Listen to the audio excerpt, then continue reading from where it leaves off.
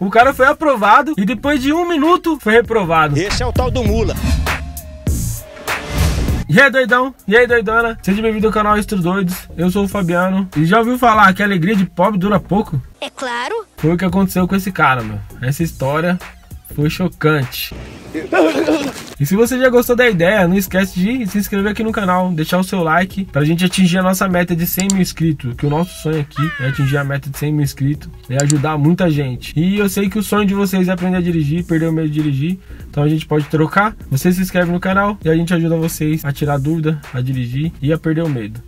Beleza? Então vamos lá pra história? O que aconteceu? Eu não tive a razão da pessoa porque tem muita gente que acha que é normal isso. De andar de moto, andar de carro sem ter CNH. E, e tem muita gente que julgou, falou, meu, o instrutor dele deveria ter avisado pra ele. Mas a gente avisa pro aluno. A gente fala, meu, você tem carro, você tem moto. Não vai com o carro no dia do exame, com a moto. Aí tem gente que sai atrasado e quer ir de carro, quer ir de moto. Aí o que aconteceu? Esse cara chegou todo confiante no exame, tranquilamente. É, beleza, tá, não sei o que, pá, beleza. Vou passar na prova, eu sou bom. E foi lá e fez o exame dele. Bonitinho, fez certinho. Esperou a manhã inteira lá, assinou a ata lá, ficou esperando a manhã inteira. Aí chegou a prova dele, foi lá, fez tudo bonitinho, tremeu, porque mesmo a pessoa pilotando, ela vai tremer.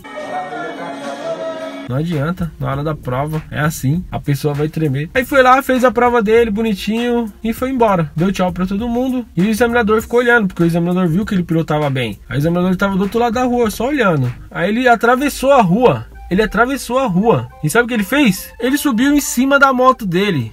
Colocou o capacetinho lá, pá, subiu em cima da moto e foi embora. Sabe o que ele fez ainda? Vocês não vão acreditar. Saiu empinando a moto ainda. Olha que legal. Aí o examinador pegou o papelzinho do cara, ele lembrou a autoescola que o cara era, né? Que ele pega o RG da pessoa, a pessoa vai lá, ele pergunta o nome da pessoa, se ele tiver vendo que a foto tá muito diferente, ele pergunta. E ele falou, fulano de tal, é, a escola tal. Isso, beleza, vai lá, faz lá. E ele marcou a cara desse rapaz. Aí na ficha, na época, hoje em dia é uma ficha maior, né? Mas essa ficha antiga tinha uma parte embaixo escrito observação.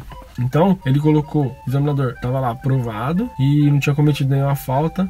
E embaixo, em observação, ele colocou assim: o candidato estava conduzindo o veículo sem CNH no local do exame. E além disso, fez manobras perigosas. E colocou reprovado. Agora imagina esse cara, véio, chegar na autoescola ligando: e aí, chegou minha habilitação aí? Minha carta tá aí na autoescola? E o cara foi reprovado, vai ter que fazer de novo. E o examinador falou que ele ia ficar bloqueado durante seis meses. Ele ia bloquear esse cara durante seis meses, porque ele saiu empinando a moto ainda. E ele não tinha pegado a placa da moto, porque senão ele podia levar a placa da moto para multar os caras multarem. Então, só depois de seis meses que o cara foi fazer a prova novamente. Depois a gente ficou sabendo que esse, esse menino, né, esse rapaz era filho, parente de um vereador, de um vereador, alguma coisa assim. Mas mesmo assim não adiantou nada. Ele teve que fazer a prova de novo e esperar seis meses. Então, se você conhece alguém que já tem carro, que já tem moto, avisa pra essa pessoa que não pode ir no dia do exame com o carro, com a moto. Evita de pegar o carro quando você tá sem CNH pra ficar andando pra cima e pra baixo aí. Tira sua CNH bonitinho pra você não se prejudicar, porque dirigir sem CNH é crime de trânsito e você vai ser o maior prejudicado de todos. Então vai lá, tira essa CNH bonitinho para você poder dirigir.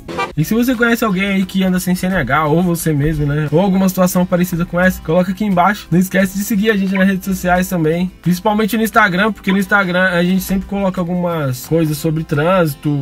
É, tá sempre dando dicas lá. Então segue a gente lá no Instagram. E aqui no YouTube também tem uma aba de comunidade. É só você clicar aqui no nosso canal, clica no logo aí do Estudo 2, aí vai aparecer umas abas em cima. Aí tem escrito comunidade. Clica lá, porque lá eu coloco algumas coisas sobre trânsito também, sobre meio dirigir, dicas. Então sempre fica olhando lá e dá um like lá, uma curtida para ajudar a gente a sempre evoluir mais e ter mais doidões e doidonas para aprender a dirigir. É nóis então, tamo junto. Fui!